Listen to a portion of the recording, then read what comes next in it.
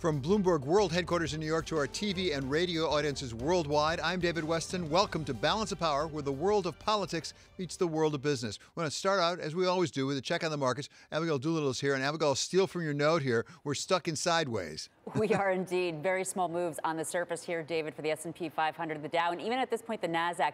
Very small gains, about two tenths of one percent to the upside.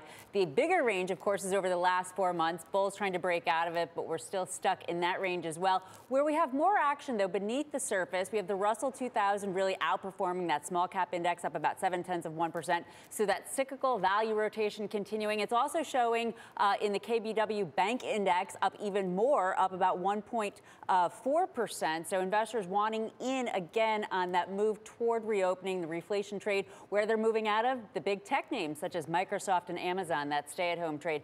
Interesting, though, is David, while we do have stocks basically stuck in this sideways range, it seems the bulls want to break out. Optimism forward six to nine months around the vaccine. On the other hand, bonds, we have this quiet rally in bonds over the last few days. The 10 year yield firmly in this year's range. So it continues to seem that bonds are pricing uh, for the possibility of the near term challenges around the virus spread while stocks are looking ahead. It's not clear what side is right. Stay tuned. There could be some interesting action and volatility ahead, David. We will stay tuned with you. Thank you so much to Abigail Doolittle for that report on the markets. Fast congressional action helped bring the U.S. economy back after the shutdown triggered by the pandemic. Welcome now one of those at the very center of the debate over future economic stimulus, if there is any, Republican Congressman Patrick McHenry of North Carolina. He is ranking member of the House Finance Committee. So, Congressman, always a delight to have you with us. As I say, I think most people agree Congress really acted big and fast and it helped bring the economy back. But now we're seeing some wobbliness, particularly as coronavirus seems to come back. Do we need some more stimulus to avoid a double dip in the in the economy? Yeah, I think we do, and I think the Federal Reserve agrees. Uh, we have a tale of two recoveries. We have part of uh, our country and segments of our economy doing quite well, roaring, in fact. And you have other segments, uh, like the restaurant industry, for instance, uh, that are just uh, that, that are just going to struggle for the coming months, uh, given the nature of the virus. Um, and and they're the ones that need a, a, little assistance to get through the darkest moments of winter. Uh, and and I think that's why we need to actually have a targeted package here with targeted relief and additional flexibility for state and locals, local governments uh, to get through this thing. So I think uh, an important word in what you just said was little, because we have on the one right. hand uh, the Senate Majority Leader Mitch McConnell. I think he's at 500 billion dollars. We have, as I understand it, President-elect uh, Biden saying it's got to be 2.2 trillion, more in the Nancy Pelosi camp, if I can say it that way. Is there a possibility of a compromise on that? We had Jamie Dimon, the head of J.P. Morgan, just today saying it's childish, to use his word, for Congress not to compromise on this. Well, yes, but also, what I uh, what I would say here is that uh, the president and uh, the secretary of the Treasury were quite flexible in attempting to negotiate with Nancy Pelosi, but she was playing politics in July, August, September, October. It's presidential election year. Uh, the reins of power were, were at play here, and uh, Speaker Pelosi played her political hand. Now she has fewer Democrats in the House. You still have a Republican Senate, but Biden got elected. So part of her play was was effective for her political outcome. Now that the election's over, I think we can come to a deal, and I think we can readily come to a deal on a smaller package, not something like uh, Pelosi put together, which was the two trillion dollar grab bag of every liberal idea that they've had for the last half a decade that they throw into a bill. Uh, it's a bunch of garbage. Most of that bill has nothing to do with the virus. Um, it, it, has other extraneous uh, political issues about corporate governance, for instance. It has nothing to do with the virus. So let's pare it down. Let's get rational about this thing. And uh, let's get to the table and negotiate. Uh, could we get it done in this Congress, that is to say, before the end of the year, as a practical matter? And, and do we need to? Because we do see coronavirus coming back across the country in a lot of different places, and some governments now having some partial shutdowns. Right, and and that's why we need to have a modest package to get us through the next two three months. Um, I don't think we need something the size of the CARES Act, and I think Mitch McConnell's right in terms of the size, and I think the Federal Reserve would concur would concur uh, that an additional boost is is necessary. So all those things. Uh, I think uh, uh tell me, and the fact that we're post uh, post election uh, and and coming into a divided government for the that that we could come to terms in the month of December and get a small deal done. If you're going to hold out for $2 trillion, that's going to take till probably February to get a package of that size done. If at all, it could happen even then. The reports are that the President of the United States, Donald Trump, has decided he's not participating anymore, that he's going to leave it up to Congress to sort this thing out, that he's not really going to be in the negotiations. Is the President helping at this point? And let me be very pointed about it. Is he helping by not conceding the election? Because most people seem to agree at this point that it is President elect Biden. What is the advantage for the country? What is the advantage for the country and the President not recognizing it's time to move on? Well, uh, each state certifies the election at different dates. Um, and so, uh, over uh, the next couple of days, over the next week period of time, you'll have each state certify their presidential election and, and actually their full election returns. Uh, when that's done, I think the election's done. Uh, and that's when I would get my certificate for reelection, for instance, uh, and the House would receive that. Um, and so uh, let's see, let's get those uh, those certificates done, and I think that's when it's done. For the presidential election, you then have presidential electors that meet and formally do this. But uh, you know, for the last um, 150 years, that's just been a formality, roughly. Um, and so uh, I think once we have the election certificates, I think uh, things are said and done, and that's when you have to accept the results. Do you expect that the president will accept them at that point with the certification? I mean, that is the key date, as you say. Uh, and if he doesn't, will Republicans such as yourself actually call upon him to do that?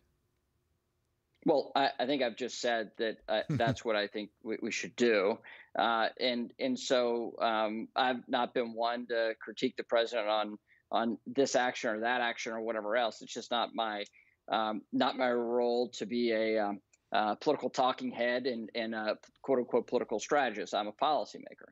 Um, but I think, in terms of the practical impact under our system of laws and our constitutional system, once you have that certificate of election, and once those uh, uh, delegates are, uh, those electors are, are, are certified as well and vote, then it's done. Then you have to accept it under our uh, legal and constitutional regime. And I think he will. Congressman, I never want to talk with you uh, about the deficit because it's something I know that is very important to you. It looks like we're going to have a divided Congress in all likelihood, depending on what happens in Georgia. But I think it's what is the most likely result. Is that going to be good for the deficit in the sense of really getting control of it? Well, um, it, hard to tell in this environment. I mean, we've we've got some really tough days ahead for the American people, given the nature of this virus. Um, and we want to get through that. Then we need to get uh, back to the back to a focused effort to pare down um, our debt and deficit in a rational way over the next generation. Um, and I do think um, I, I am hopeful that a divided government can force that compromise, that that bipartisan compromise necessary to put our government funding on a sustainable path. Uh, we have a ready uh, taxation regime. We had a roaring economy even back as in February, the best economy of uh, of my lifetime. Um, and so we need to get back to a strong economy and start paring down the spending of our federal government. And I, am hopeful that in a divided government we can do that. Uh, uh, how do you envision this vaccine news? I mean, it's certainly good news. Everyone agrees to that. Do we need a bridge, an economic bridge, to get us there? I think so. And I think we have to have a firm uh, understanding of the delivery methods for this vaccine and the prioritization. I think that's a, a very key thing for, for policymakers and for the general public to understand how this pack, vaccine will be distri- these vaccines will be distributed, how they'll be prioritized, and start seeing the time frame. I'm very interested in in uh, ensuring that uh, we have that uh, that continuity of delivery system. Uh, but in the meantime, our economy will struggle just based off the nature of this virus and what we have to do to limit the spread, uh, the control that we have as individuals to limit the, the spread, uh, like wearing masks and social distancing and avoiding large public gatherings. Those things are all rational, but that also has a severe impact on our economy. I don't think we're going to go back to full lockdowns like we did uh, back in March, but I, I do think we're going to be uh, uh, uh we're going to have a more constrained economy because us as uh, we the average American people right. are going to have a constrained interaction with other people. Right, Congressman, great to have you with us as always. That's Congressman Patrick McHenry. He's ranking member of the House Financial Services Committee, and I'm happy to say we're going to have more with him coming up in the 1 p.m. hour on Bloomberg Radio. Coming up here, Dr. Steven Corwin, head of the New York Presbyterian Hospital Center, will bring us his take on where we are on the current coronavirus crisis. This is Balance of Power on Bloomberg Television and Radio.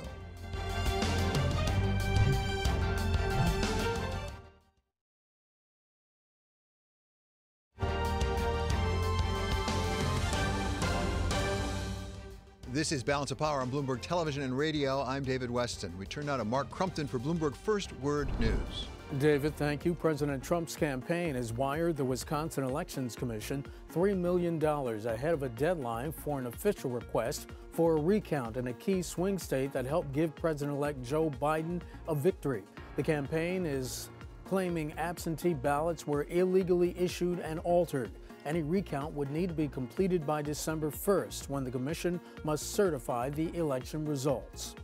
House Democrats have voted to stick with Nancy Pelosi as their leader and nominee for Speaker. She must still win a majority of votes from the full House to remain as Speaker when the new Congress begins in January. She will have a slimmer majority next year, which complicates her path to securing enough support to win the gavel on the first round of voting. Some pandemic aid programs are set to expire in the new year, leaving millions without the government support that's helped keep them afloat. The biggest blow will likely come from the end of two federal unemployment insurance programs, with roughly 12 million people facing a late December cutoff. That's according to a study released today by the Century Foundation. Also, measures that froze student loan payments, offered mortgage forbearance, and halted evictions have a year end deadline. A top European Union official says trade talks with the United Kingdom still face, quoting here, substantial work that might spill over into next week. The comments dampened hopes that a deal could be approved when the EU leaders meet in a video conference on Thursday. The UK left the EU on January 31st, but a transition period runs until the end of next month. Both sides had hoped to get a trade deal by then. Global news 24 hours a day on air and on Bloomberg Quick Take powered by more than 2,700 journalists and analysts in over 120 countries. I'm Mark Crumpton. This is Bloomberg. David? Thanks very much, Mark. The last spring, we suffered from a massive surge in coronavirus cases, much of it centered in the Northeast, with New York right in the epicenter. Now we're seeing a new surge. To get some perspective on what we are seeing now, we welcome back to Bloomberg Dr. Steven Corwin. He is president and CEO of New York Presbyterian Hospital, one of the largest in the world, ranked number one in the New York metropolitan area and number four nationwide. So, Doctor, thank you so much for being back with us. Give us your perspective now. How does this compare with that whirlwind we saw last March? How is it similar? How is it different?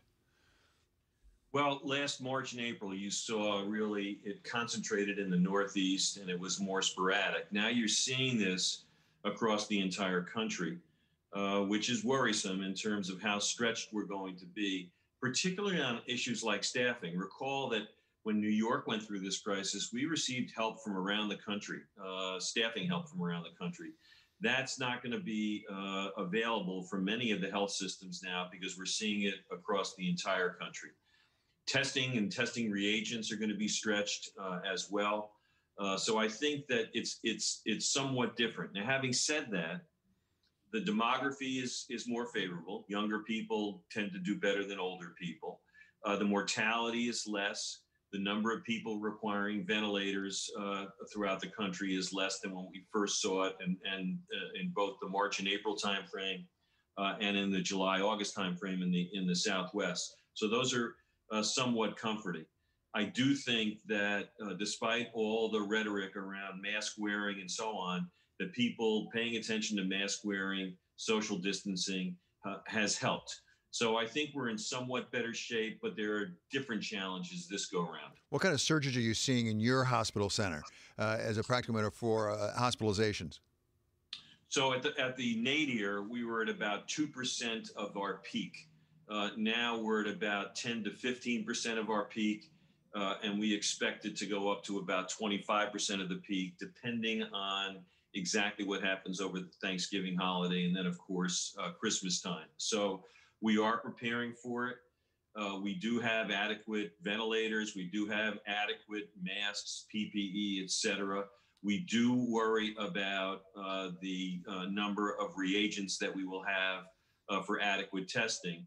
Uh, but I feel that we're in better shape than March and April, and we're hopeful that it will be uh, less strenuous than March and April for sure. And look, we have the the the likelihood of uh, the vaccines uh, not only being approved but uh, starting to be distributed at the end of December and January, and then hopefully ramping up by the uh, April May timeframe. So you can see the goal line in sight if we can just get through the next few months. Well, okay, to follow that analogy, you see the goal line. The question is, how do we not fumble the ball in the meantime? Because there's some people who feel tired about wearing those masks you said help and social distancing. How long do we have to keep that up, in your estimation, before we really have effective protection from the vaccine? A few months. I think you're looking at the rest of November, December, January into February. Hopefully, but in the February March timeframe, you're starting to see widespread availability of the vaccine. And and David, if I could put a plug in, we must insist on mass vaccination. The pain that we've gone through as a country, the deaths that we've had, the effect on so many different industries and businesses We've got to insist on mass vaccination. We've got to make sure that we educate our population about it. I tell you, I would be the first in line for either the Pfizer or the Moderna vaccine. Uh, I think it's been a remarkable accomplishment.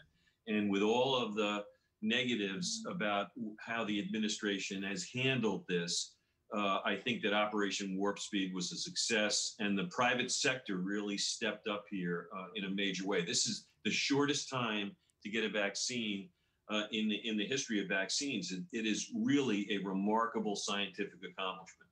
Uh, so, so, doctor, the question now is how the baton will be passed from the Trump administration to what really everybody agrees is going to be the Biden administration. What would you hope to see from a Biden administration that might be different from what you've seen from a Trump administration? Well, the first thing is I think this transition is critical. Uh, the initial distribution of the vaccine is, let's say, going to be uh, uh, 20 million doses or 30 million doses. Uh, if you require two doses per vaccine, you're only talking about 15 million Americans getting it. So the coordination between the outgoing administration and the Biden administration becomes critical so that everybody's on the same page. How is it going to get distributed? What is the IT system associated with this? What are the state allocations? Do the states have plans that make sense? How do you prioritize this? How do you make it equitable? Uh, that should be being discussed right now. Uh, and I know that you, you, spoke to the congressman before. Yes, uh, the election needs to be certified, but we there is a clear winner here, and at the very least, there should be widespread support for sharing of information and allowing for an effective tr- transition to happen. If it turns out that the president uh, actually won, which no one thinks is likely, okay, then there's no harm, no foul. But not doing this uh, handoff, I think, is is really critical. As you said, uh, you don't want to fumble it uh, when you're inside of the goal line, and we need an effective passing of the baton. So, Doctor, let's let's pursue that for a moment because we've heard from President-elect Biden that in fact lives could be at stake because there's not having we're not having that transition right now. It's being held up. Is that too dramatic? You know, I think that um, it, it, it's a little bit dramatic, but he's making the point that um, the quicker that we can come together on this in terms of the vaccine distribution and a common uh, agreement on the playbook, I think the better off we're going to be. Uh, let's stop arguing about the masks already. It, we're beyond that. Uh, even the governor of North Dakota said we have to wear masks. Let's assure the people that President Trump and President elect Biden are working together to make sure that this next few months is um, as, as painless as it can be in a painful situation. I think that's what he meant. Uh, you know, I think that the Thanksgiving holiday, I'm sure you yourself, uh, you know, my family is is not particularly happy with the fact that everyone's going to be socially distancing. But let's let's think about what Thanksgiving really means. You thank uh, God for our country, for your family, for your health. So let's not give each other uh, COVID over the Thanksgiving and Christmas holidays. Yeah, absolutely. I, am speaking for myself. It'll be my wife and me and our two kids, and that's going to be it. That's that's you all we it. have. That's your pot. Exactly right. That's it. Exactly. Thank you so much. It's always a pleasure to talk to you. That's Dr. Steven Corwin. He's New York Presbyterian President and CEO. And a quick note now: be sure to check out the latest highlights from the Bloomberg New Economy Forum using the function NEF Go on your terminal. This is Balance of Power on Bloomberg Television and Radio.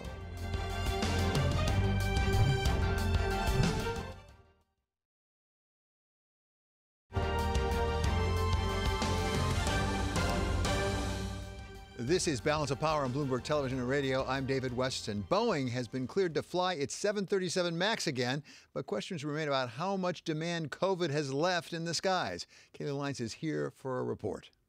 Well, David, this has been a long time coming, and finally, the FAA has cleared the 737 MAX to fly once again after it has been grounded for 20 months, since all the way back in March of 2019. That is the longest grounding for any jet on record, and we've seen Boeing stock plunge by about half since the grounding as a result. Now, overall, the grounding has cost the company about $20 billion and also taken more than 1,000 MAX jets off the order backlog. Boeing does expect to deliver about half of the 400 150 MAX jets that are in storage at the moment by uh, the course of the next year. And our analysts here at Bloomberg Intelligence think that'll free up uh, a drive around $6 billion in cash, set them up for return to positive cash generation.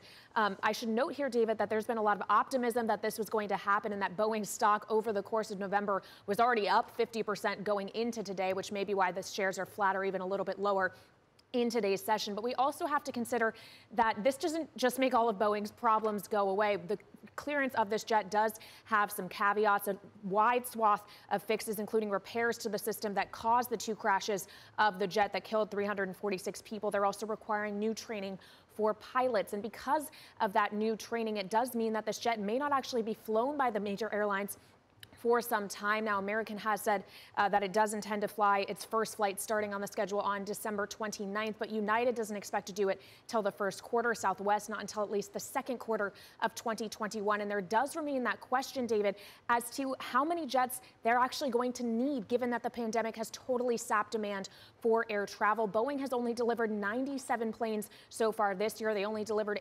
380 over the course of 2019. Of course, the 737 MAX grounding a big part of that. Now, obviously, that grounding at this point, David, is now over. But are people going to want to buy 737 Maxes going forward, David? Exactly. It's been a while since most of us have been on a commercial airliner, I think it's fair to say. Thank you so much to Kailey Leinz for the report on Boeing.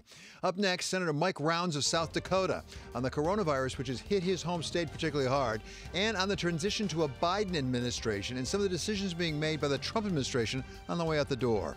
This is Balance of Power on Bloomberg Television and Radio.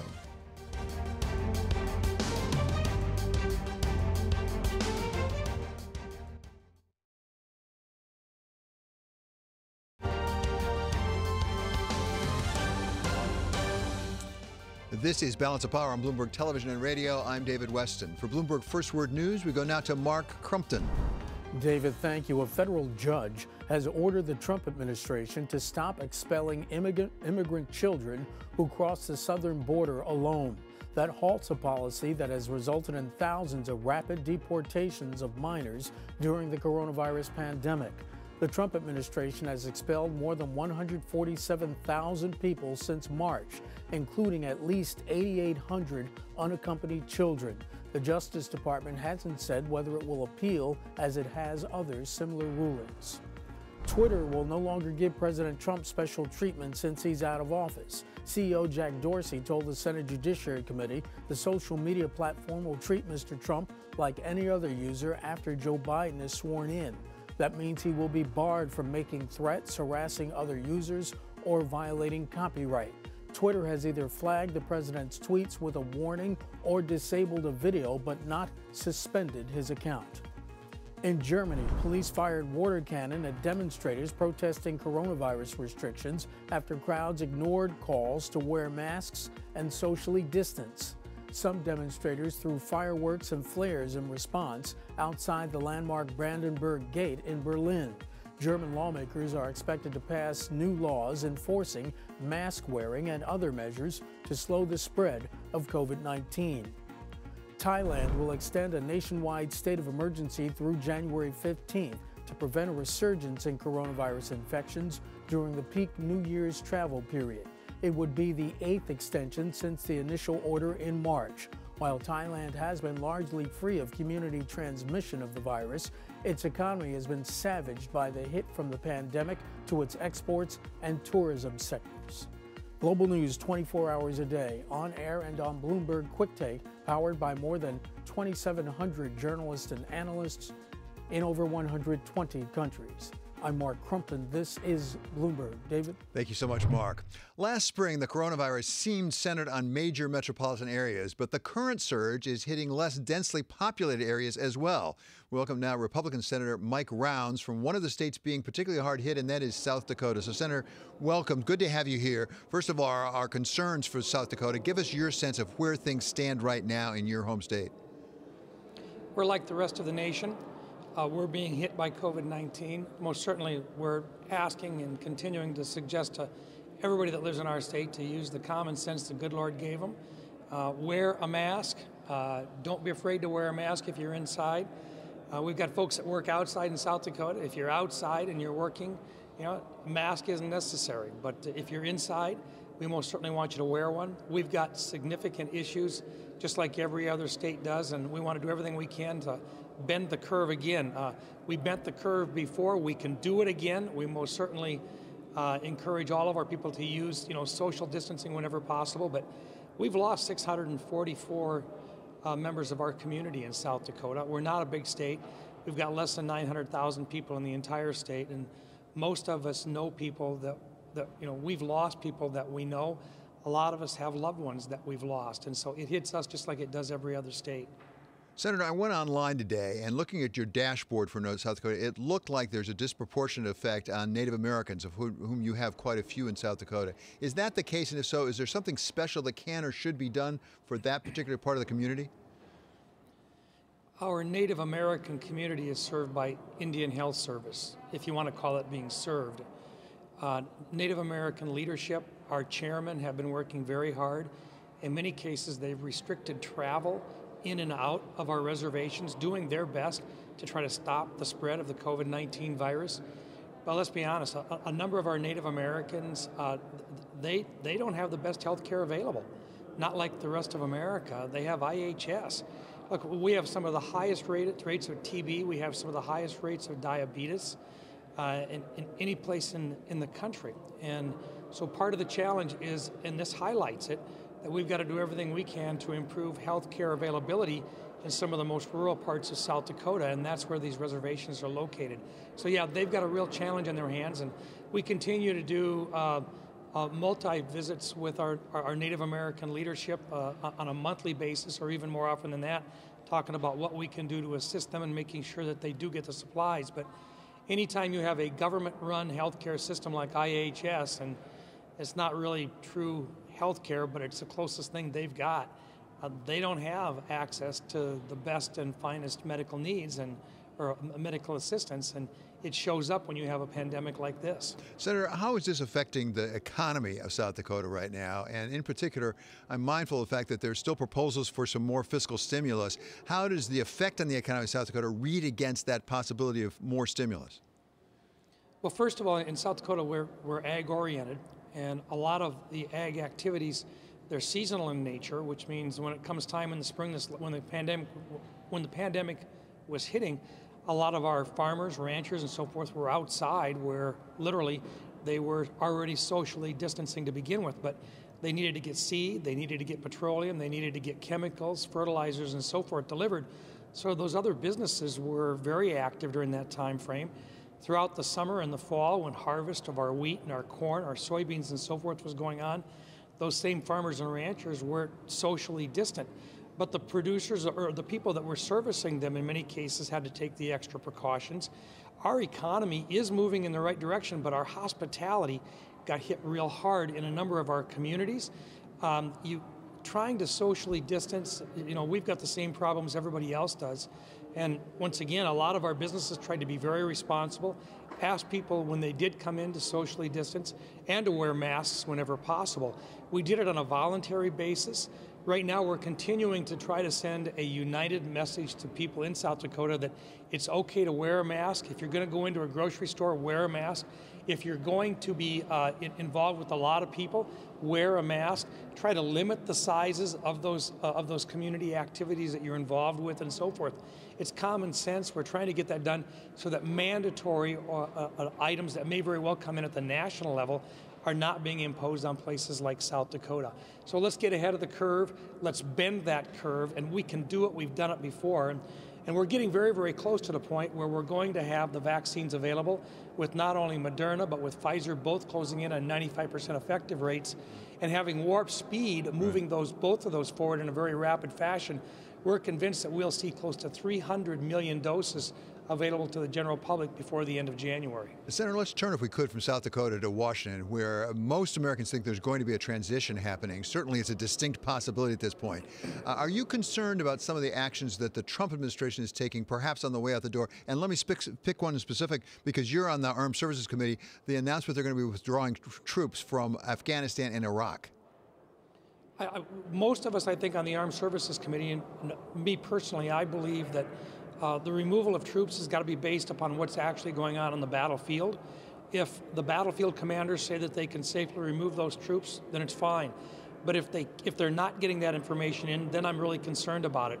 I want to make sure that our troops are safe and sometimes when you when you pick a number and try to move to it, unless you have assurances that the battlefield commanders can handle it, you could put other people in harm's way. I know that's not what the president wants to do, but most certainly that's something that we have to ask and be reaffirmed that we're not putting our troops in more uh, of a harm's way by having a limited number available. So let's make sure that the decisions are being made in consultation with those battlefield commanders.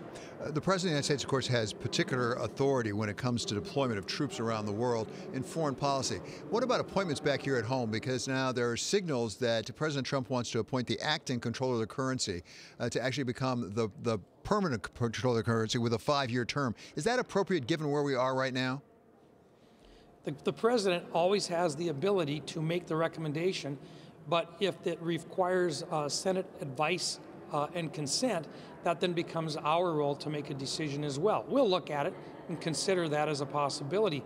Uh, and, and, and, once again, this is a case where the Constitution lays out who is responsible until the end of their term. President Trump is responsible until the end of his term to follow through when there are those vacancies. So it is up to him as to whether or not he wants to make the nomination.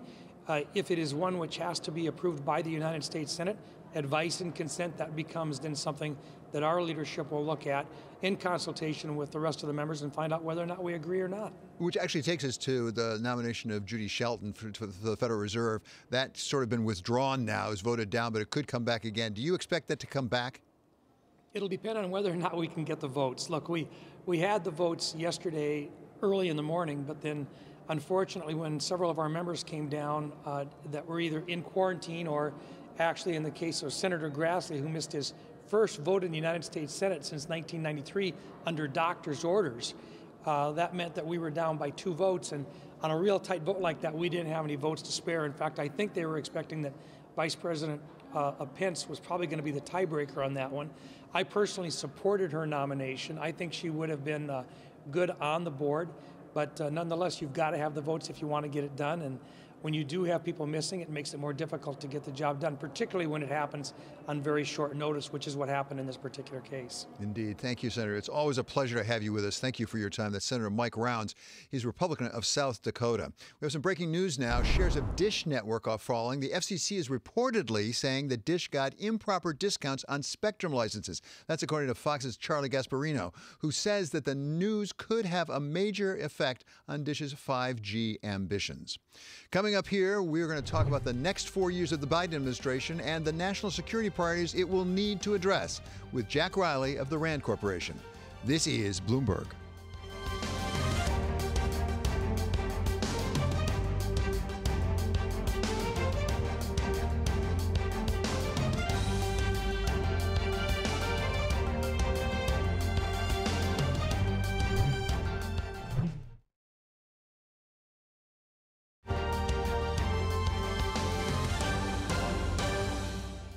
This is Balance of Power on Bloomberg Television and Radio. I'm David Westin. The Biden administration will take office facing an array of national security issues around the world. As part of our Next Four Years series, we're taking a look at what we can expect. And we welcome now Jack Riley, RAND National Security Research Division Vice President and Director of the RAND National Defense Research Institute. Thank you so much for being with us, Mr. Riley. So uh, you, just, just play the game. Uh, you're going into the Oval Office with a new President Biden, and he says, What should I be looking at? What do you tell him? Uh, uh, my top three would be China, Russia, and reinvigorating relationships with key allies. And uh, I'm sure we'll talk about China and Russia in more depth, but let me start with allies. It's pretty clear from recent statements that the president elect intends to reinvigorate or maybe even expand relationships with countries like the UK, Germany, EU, and other NATO countries.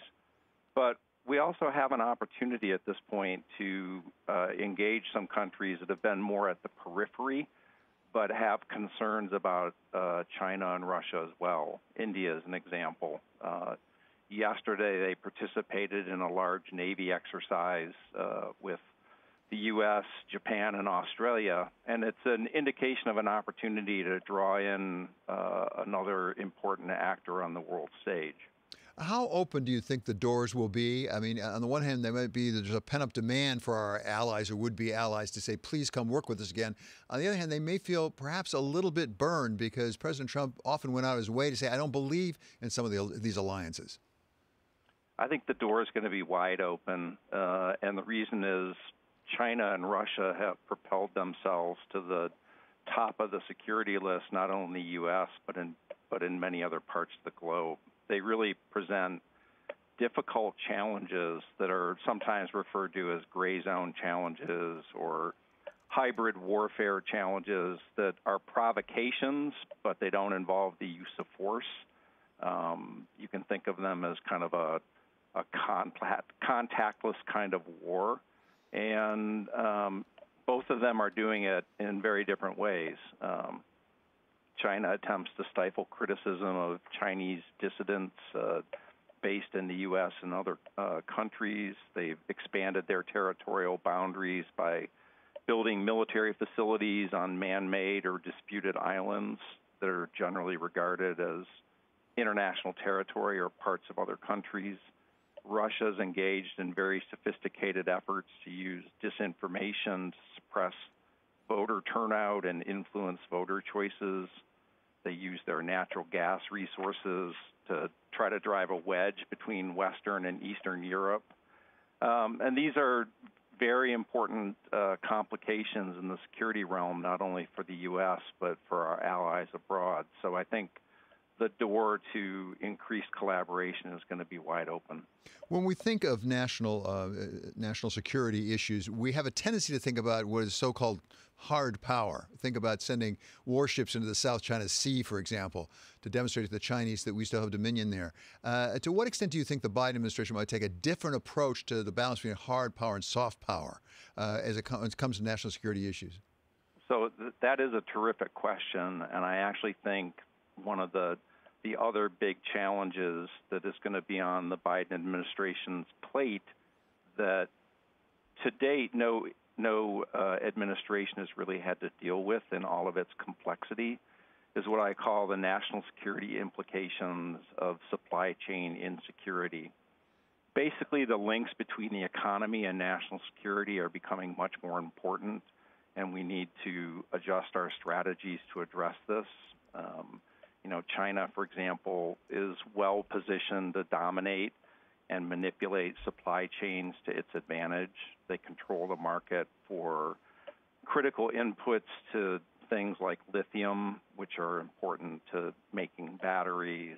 Um, they're supplier of many of the world's semiconductors and so forth.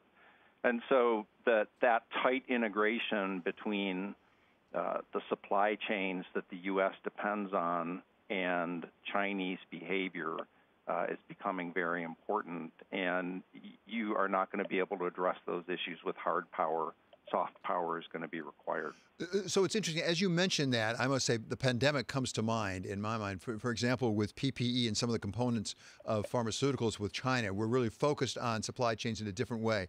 So my question is, to what extent did the pandemic actually change the national security issues as opposed to just bring them to the fore? Uh, yeah, I think it's it's the latter. Um, and if uh, if I had remembered it in the moment, I would have said pandemic as well as another example of of how the definition and the scope of national security has really broadened. Because let's face it, the pandemic is a national security issue in a number of different dimensions. And you're right that the the medical and uh, other supply chains related to controlling the epidemic uh, or pandemic to some extent do rely on China. So it is it is very much part of the equation here. Going all the way back to the Obama administration, uh, they famously said there was going to be a pivot toward China, which was interpreted by a lot of people actually as having to do with geopolitics and military. I think it might have been more than that. But would you advise a Biden administration to continue that pivot? I think the the pivot is uh, less about a um, specific country or region and more about the behaviors and the issues that are undermining uh, our national security. So, for example, when China um, expands its territorial claims, it makes it harder to live up to our commitments to allies to provide protection, or uh, it endangers uh, commerce lanes and other kinds of things. When Russia interferes in uh, elections, uh, you know, we're we don't necessarily have the the confidence uh, that the choices that people are making are uh, are well made or not influenced by a foreign actor. So um, I think it's it's critical that uh, we think of policy and and broaden our um, security definition to include those kinds of behaviors and perhaps less of a, a focus or a, a intended focus on a specific region or country. Many thanks. Really great to have you with us today. That is Jack Riley. He is RAND National Security Research Division Vice President. We have some breaking news now involving Google parent Alphabet. The company has just unveiled an expansion of its Google Pay. It will allow users to open checking accounts with various banks, including Citi. The move is Google's deepest venture yet into the U.S. financial system. Coming up here, we go back to the Bloomberg New Economy Forum and hear from Ursula von der Leyen. She is European Commission President. This is Balance of Power on Bloomberg Television and Radio.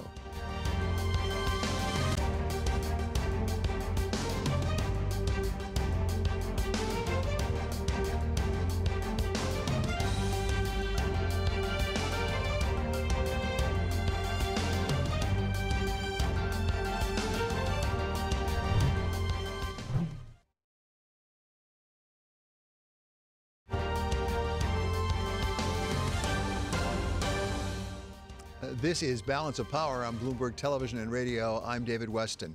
European Commission President Ursula von der Leyen spoke earlier today. It was as part of the Bloomberg New Economy Forum, and she addressed the big issue right now for the world that intersection among the pandemic, the vaccine, and the global economy. Here are some of the highlights from that speech. This crisis has shown us that global public health is the foundation of the world's prosperity and security. Safe vaccines must be available for all, whoever they are, wherever they are, whatever they can afford. No middle or low income country should be left behind. A global recovery is the only way to reopen our economies, to restart the labor market, to repair supply chains and start rebuilding. This is about capitalizing on existing market forces, not fighting them. We need to use our recovery stimulus to invest in the clean and digital technologies of the future. This is the thinking behind Europe's 1.8 trillion euro recovery package. You can count on Europe to lead the way. That was European Commission President Ursula von der Leyen speaking at the New Economy Forum For all the things on the forum, you want to check out NEF Go on the terminal. There's an awful lot of important people who are saying an awful lot of important things. Coming up, Balance of Power continues on Bloomberg Radio.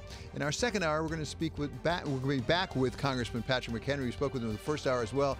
This time, we're going to talk about the prospects for a divided Congress to get anything done. We're going to have a new Congress come January 3. And we'll also be talking to Carly Fiorina, former head of Hewlett Packard, about the dangers posed for supply chains by the pandemic in the tech industry. This is Balance of Power on Bloomberg Television and on Bloomberg Radio.